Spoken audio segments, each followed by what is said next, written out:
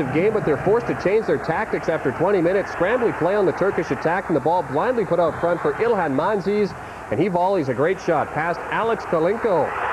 And it's 1-0 to the Turks.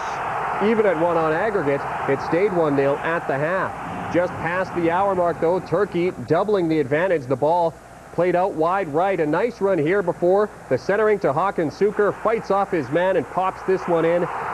2-0 Turkey. They're up 2-1 on Ag.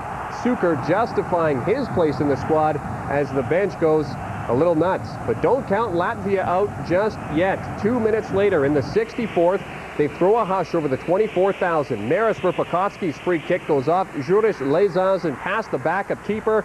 All of a sudden, it's 2-1 here. Tied on Ag, and the fans None too happy with these celebrations, though. Not a surprising reaction in Turkey. Dagger thrust into the heart in the 77th. Goal kick bounces right on to Verpakovsky, and the hero in the opening leg is a hero once again.